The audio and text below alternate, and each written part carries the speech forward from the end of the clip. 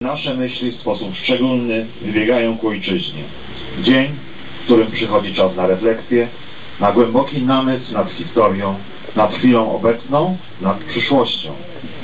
W listopadzie 1918 roku, po ponad 120 latach niewoli, Polska odzyskała upragnioną wolność.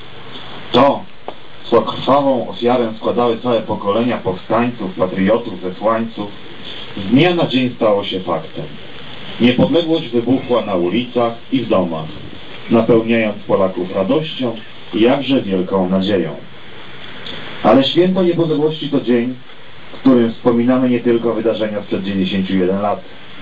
Dziś nasze serca przepełnione są wdzięcznością wobec tych, którzy i przed 1918 rokiem i po nim suwerenność naszej ojczyzny stawiali wyżej nad swoje bezpieczeństwo, zdrowie i życie.